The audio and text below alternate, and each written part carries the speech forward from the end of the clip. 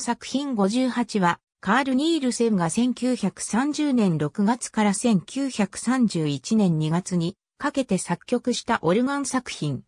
作曲者最後の主要作品であり、1931年4月24日にコッペンハーゲンのクリスチャンス坊上の礼拝堂で私的に初演された。ニールセンは本作ととりわけ重要な作品と考えていた。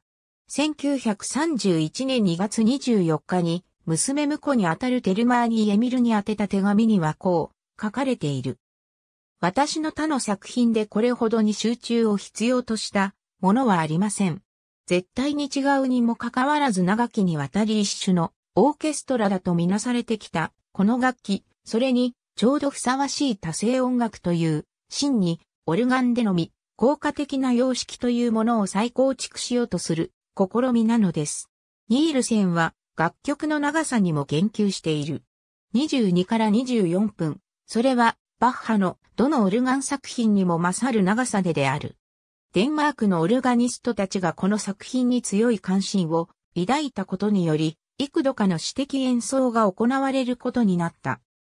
クリスチャンス坊上の礼拝堂での演奏に加え、ピーダ・トムスンによって2回、6月14日にコッペンハーゲンの聖ニコライ教会にてマーク戦、オルガンにより、フィン・ビーザウーが2回、1週間後にロスキレ大聖堂で、イミーリウス・バンギアトにより1回、そして7月にピーダ・トムスによりもう1回である。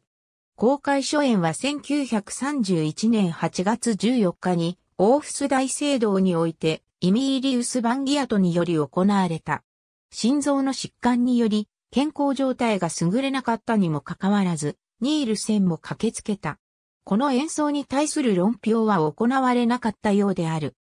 ドイツに新しいオルガン作品が到着したという知らせの後、シュレースビヒ出身のオルガニストであるエルビン・ツリンガーは、バンギアトとニールセンに対し、その10月にリューベックで開催される北欧ドイツオルガン週間の場でコンモチを演奏しても良いか問い合わせている。ニールセンは出席を希望したが健康状態の悪化に伴う体力の衰えによりドイツ行きは叶わなかった。オルガニストに選ばれたバンギアトが一人でリューベックに赴くことになり、彼は到着から1、2日経ってニールセン高いの知らせを聞くことになる。こうしてコンサートは告別演奏となった。ダンスク・キルカム・ジーカー・チデンデにおけるスベン・オーベ村の論評からは感動的な経験が伝わってくる。ニールセンの訃報により、我々を満たした憂鬱な感情と混ざり合うのは、近年のオルガン作品としては、誇張抜きに最も重要であると呼ばれてもおかしくない。この作品を完成してくれたことに対する彼への感謝である。ニールセンは同時代の素材を悪い意味で現代的に見えないように配置する術を心得ていた。